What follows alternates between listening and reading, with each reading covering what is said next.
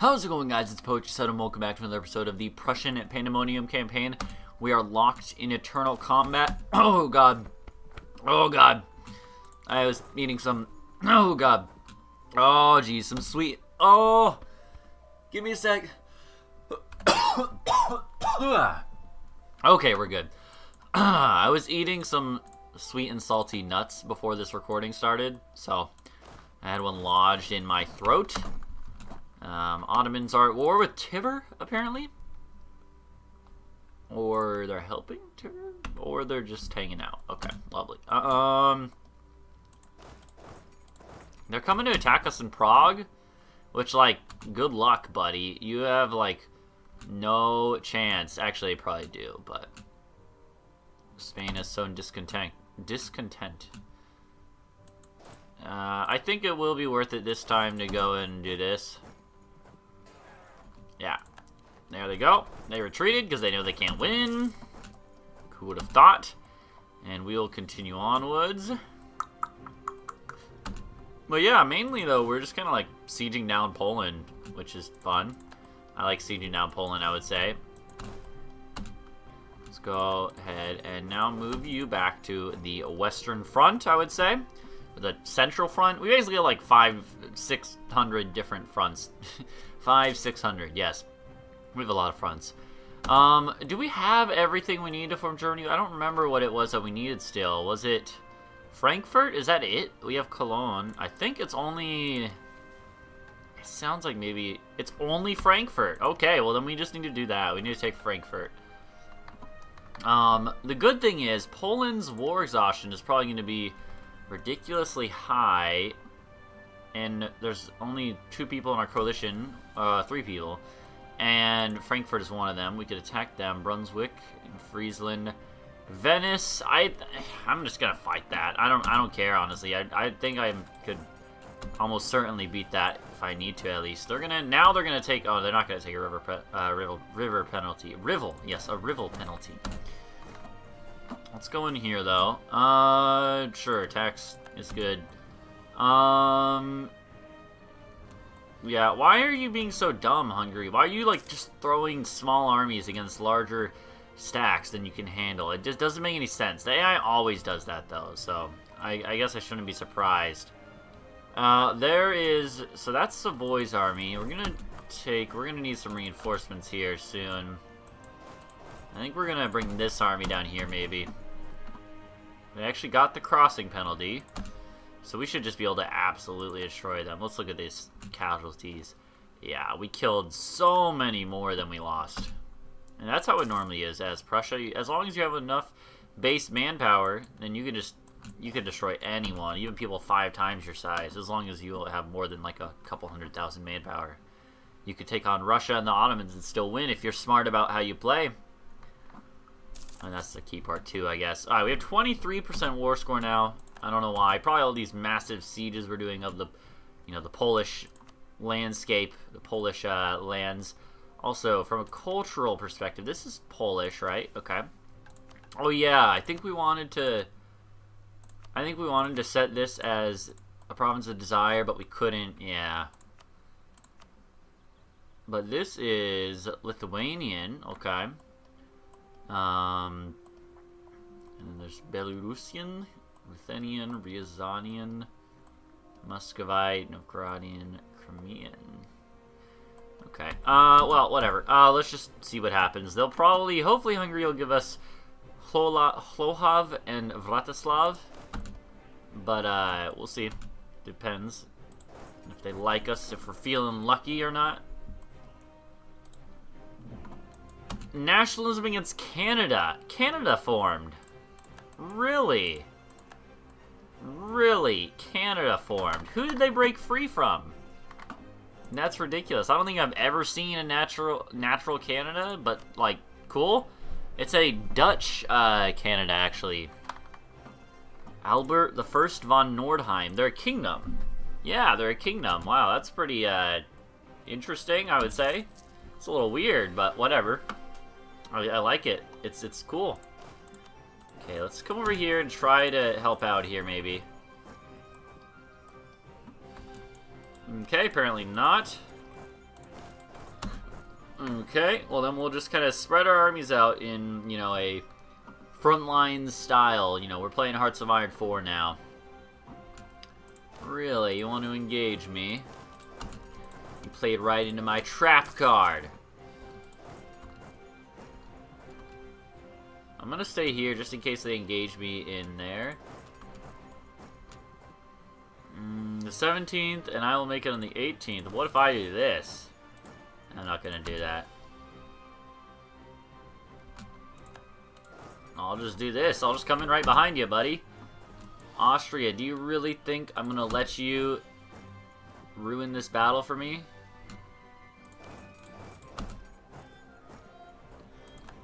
They might actually win it.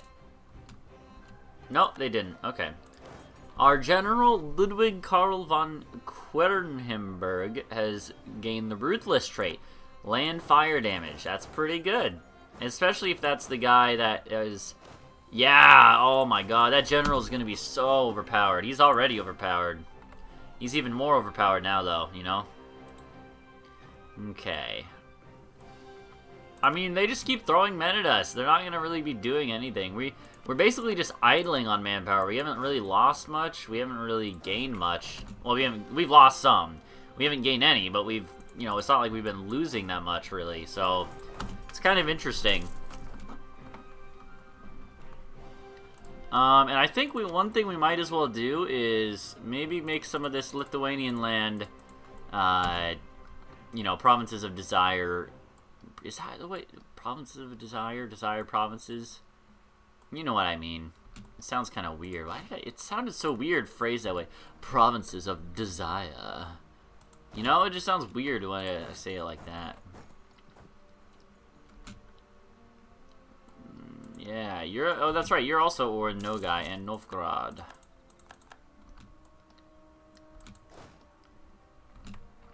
Okay. Um. I think we do want to go siege down, siege backs, rather, some of our stuff here.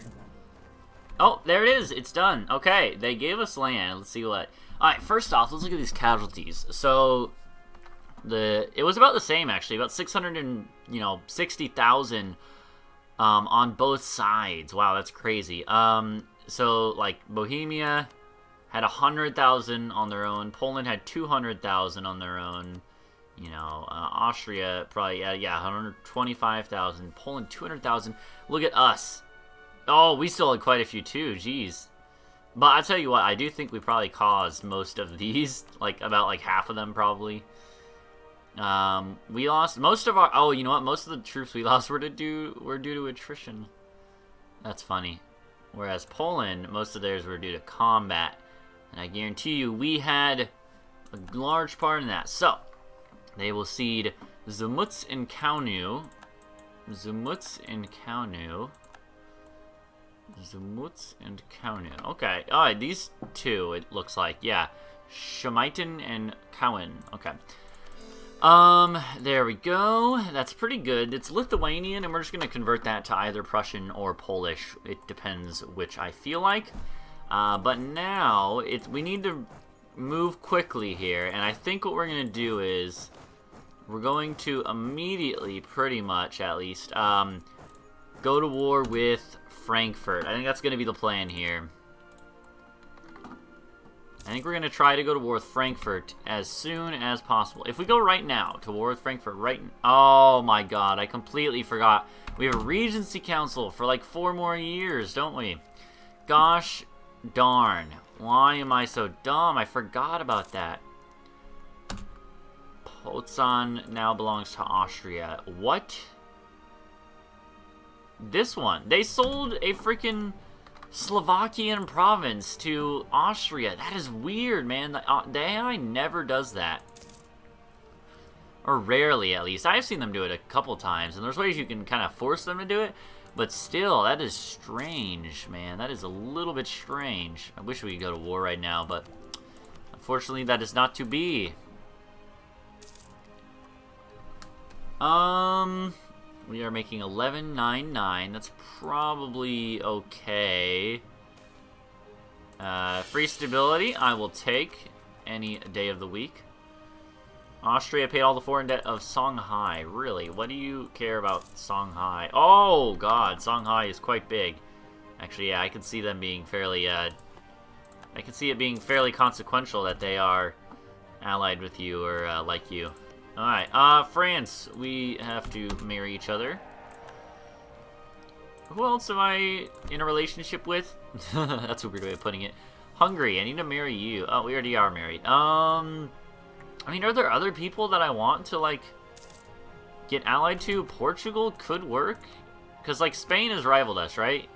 Yeah, Spain has rivaled us, so we might as well rival them back. Um, Portugal... You know what? Why don't we ally Portugal? I see no reason not to, really. We might be able to inherit that. Probably not, but, you know, it could happen. It's, it's worth the effort, I would say. Especially since we have so many relationship slots open, um, is the main thing there, I would say. So, yeah. They're, yeah, they're never going to become a vassal of ours. Uh, out of their own free will. That is okay.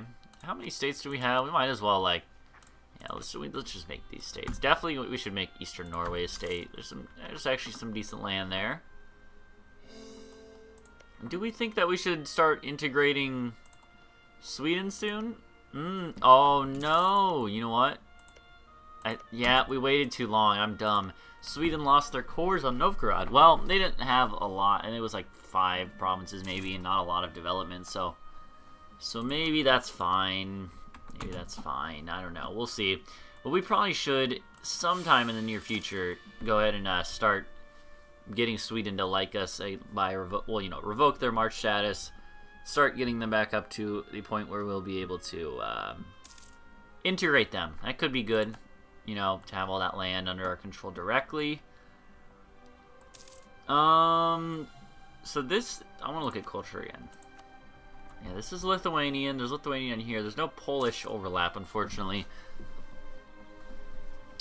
But that's okay. Hungary has this little exclave, this little chunk of land there. It's very annoying. Oh, and they took more... Wait, no. They already own that. Did they?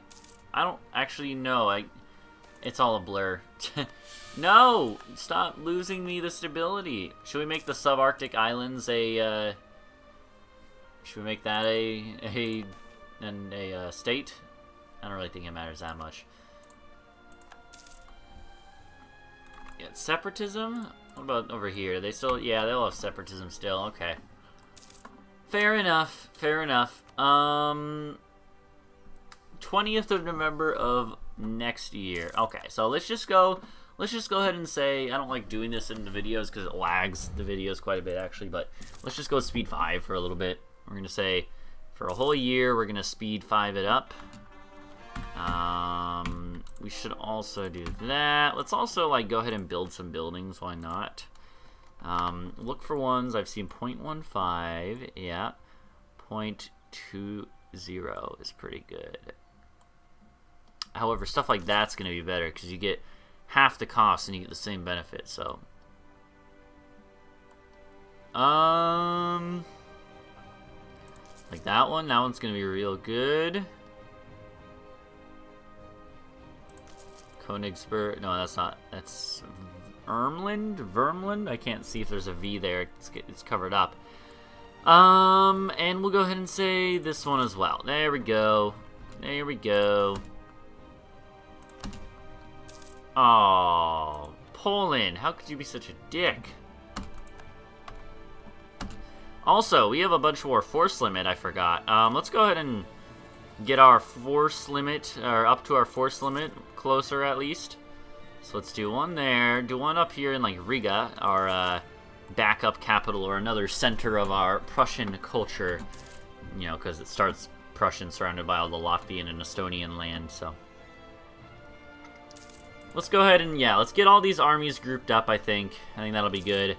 We don't have enough room for another stack, but we will do is I think we'll start upgrading these stacks to, like, 34 stacks. 16, 16, 6, 12. I think that's a pretty good... 16, 6, 12. I think that's a pretty good uh, number for most of these. Okay. Um...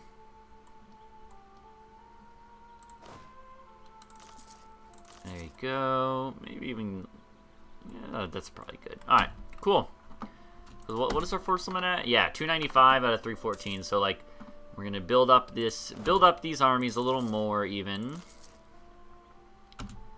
And, uh, yeah, just, just get them get them beefed up a bit so that they're a little bit more self-sufficient. We don't have to keep all of our armies near each other like we've been having to do occasionally. Hmm. Hired. A statesman. Okay.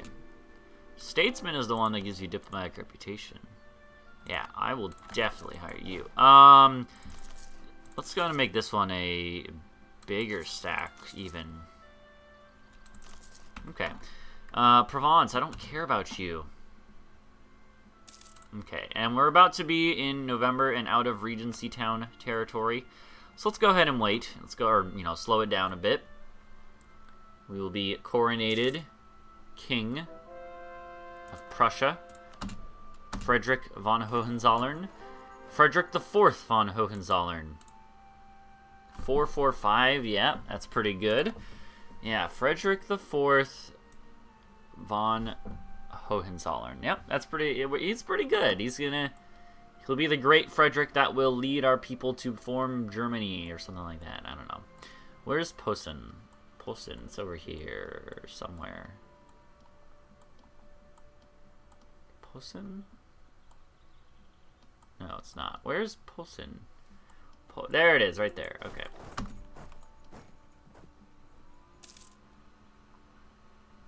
There we go. He is also a scholar, which gives tech cost minus 5. That's really good.